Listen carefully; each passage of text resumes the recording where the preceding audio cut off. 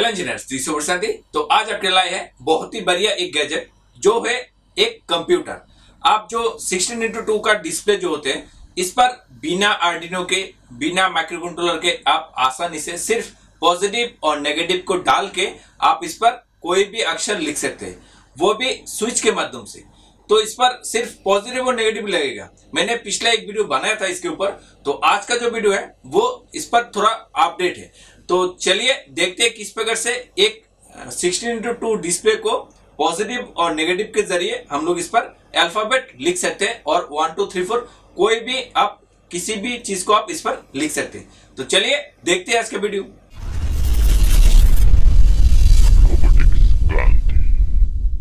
this video sponsored by L यहाँ पे आप लोग आसानी से स्केमिक बना सकते हैं। पीसीबी डिज़ाइन कर सकते हैं, किसी भी प्रकार के गड़बड़ फ़ाइल बोम फ़ाइल, ये सब कुछ आसानी से क्रिएट कर सकते हैं इस सॉफ्टवेयर पे। इस सॉफ्टवेयर के ट्रायल के लिए नीचे दिया हुआ लिंक पे क्लिक करें।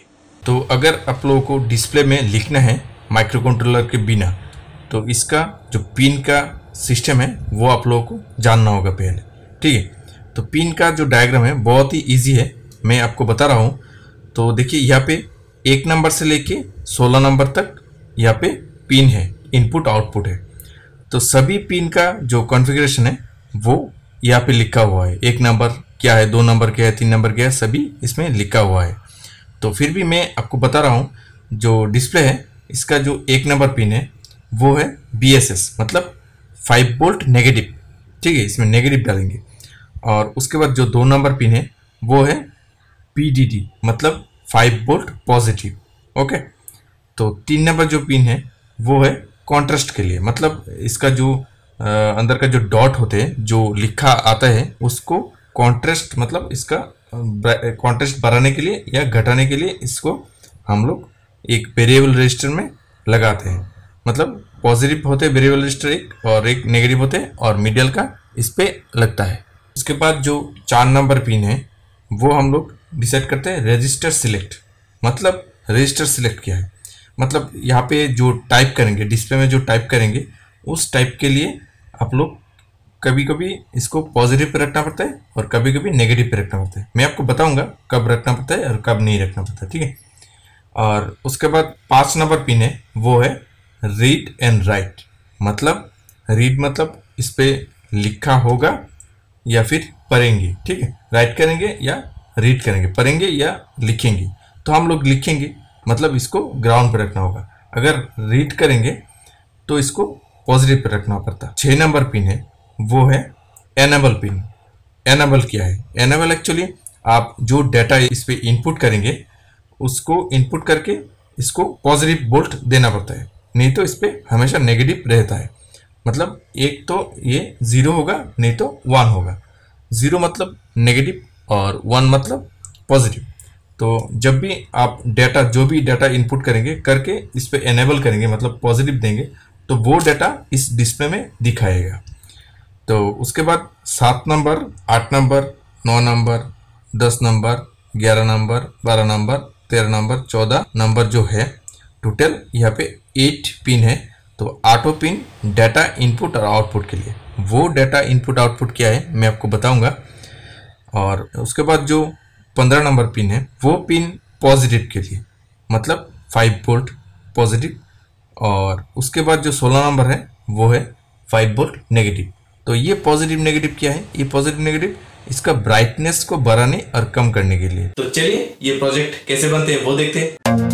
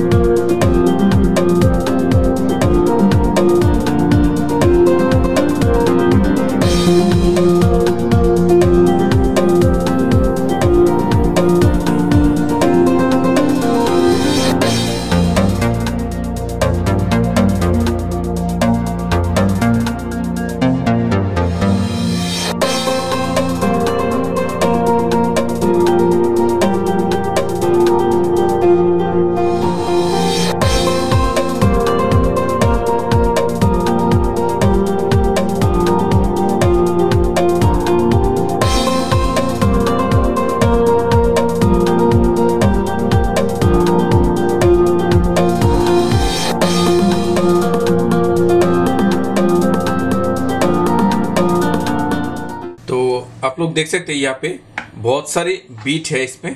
तो ये जो एक लाइन का बीट है, इस पर एट बीट हम लोग बोलते हैं। एट बीट अल्फ़ाबेट इसको, ठीक, बोलते हैं, ठीक है? तो यहाँ पे देखिए एट बीट कैसे हुआ? यहाँ पे एक बीट है। एक, दो, तीन, चार, पाँच छः सात, आठ। तो ये टोटल एट बीट है। इस एट बीट के ज़रिए हम लोग ये जो डिस्प्ले है, इस डिस्प्ले पे नाम लिख सकते हैं। वो भी बिना आर्डिनो के डायरेक्ट पॉजिटिव और नेगेटिव डाल के, ठीक है?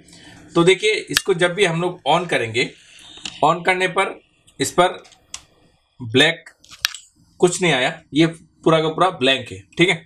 तो यहाँ पे हम लोग देख सकते हैं, एक, दो, तीन, चार, पाँच, छ, सात, आठ। तो टोटल आठ यहाँ पे पिन है। तो सभी पिन ज़ीरो पे लगा रखा है मैंने और ऊपर की तरफ़ वन है। तो जब भी हम लोग ये जो आप देख रहे हैं, इस पे अल्फ़ाबेट हम लोग इस पे डालेंगे तो इस पे आएगा। तो पहले हम लोग इसका जो कर्सर है, उसको ऑन करेंगे। उसको ऑन करने के लिए, ये जो आप देख रहे हैं रजिस्टर इसको रजिस्टर बोलते हैं, इसको हम लोग जो कि ज़ीरो पे रखेंगे। तो रखने के बाद जब भी हम लोग कर्सर ऑन करेंगे कर्सर ऑन का जो डाटा है, वो क्या है? तो आप यहाँ पे देख सकते हैं कर्सर ऑन तो इस पे दिखा रहा है ज़ीरो ज़ीरो ज़ीरो ज़ीरो उसके बाद वन वन वन ज़ीरो मतलब चार ज़ीरो है तीन वन है, उसके बाद एक ज़ीरो है। तो सेम टू सेम यहाँ पे हम लोग करेंगे। तो यहाँ पे एक, दो, तीन, चार चार ज़ीरो पे अभी है। तो तीन हम लोग एक पे रखेंगे। एक, दो, तीन। तीन को हम लोग एक पे रखा है, उसके बाद ज़ीरो। सेम टू सेम है, देखिए।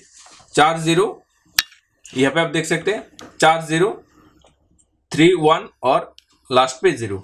तो सेम टू सेम यहाँ पे भी है। चार ज़ीरो थ्री वन लास्ट पे ज़ीरो तो जब भी हम लोग ये जो पुश बटन है, इस पर दबाएँगे तो कर्सर ऑन आएगा। तो देखिए, यहाँ पे कर्सर आ गया है। आप देख सकते हैं। उसके बाद हम लोग इस रजिस्टर को वन पे रख देंगे, लिखने के लिए, ठीक है? कर्सर ऑन करने के लिए ज़ीरो पे रखेंगे, और लिखने के लिए वन पे रखना होगा। तो जैसे कि आप देख सकते हैं, यहाँ पे ए बी सी डी सभी अल्फ़ाबेट इस पे है। तो मैं जैसे कि आप बी टाइप करूँगा तो बी कैसे हुआ? Zero one zero zero zero zero one zero ठीक है? इसको हम लोग टाइप करेंगे। तो ज़ीरो वन पहले हम लोग ज़ीरो वन देंगे। तो इसको सभी को ज़ीरो पे रख लेते हैं।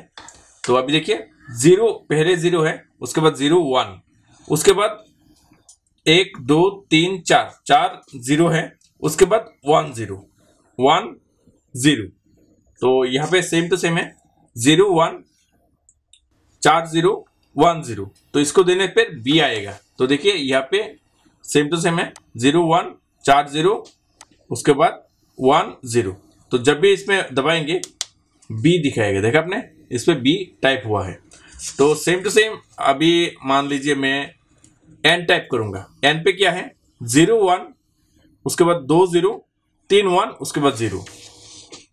तो हम लोग पहले करेंगे ज़ीरो वन, पहली है इस पे ज़ीरो वन उसके बाद दो ज़ीरो, उसके बाद तीन ऑन मतलब तीन वन होगा, उसके बाद ज़ीरो। तो टी, जो टाइप करेंगे एन आएगा, देखिए।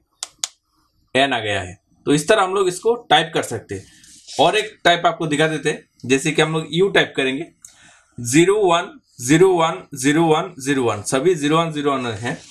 तो सभी को हम लोग zero one zero one zero one, उसके बाद ज़ीरो वन। सभी को zero one zero one zero one देने से आएगा यू देखा आपने? यहाँ पे यू टाइप हुआ है।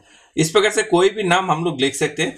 ये लिखने के लिए कोई आर्डिनो की ज़रूरत नहीं है। इसके अंदर सिर्फ़ पॉजिटिव और नेगेटिव वोल्टेज से हमने इस पे जो कि इस्तेमाल किया है और इसमें अल्फ़ाबेट आ रहा है। तो देखा आपने किस प्रकार से आसानी से एक सिक्सटीन इंटू टू डिस्प्ले को सिर्फ़ पॉजिटिव और नेगेटिव के ज़रिए हम लोग कंप्यूटर बना सकते हैं। अगर वीडियो को अच्छा लगा तो लाइक ज़रूर कीजिएगा और अपने दोस्तों ज़रूर शेयर कीजिएगा। आज के लिए इतना ही। थैंक यू दोस्तों। बाय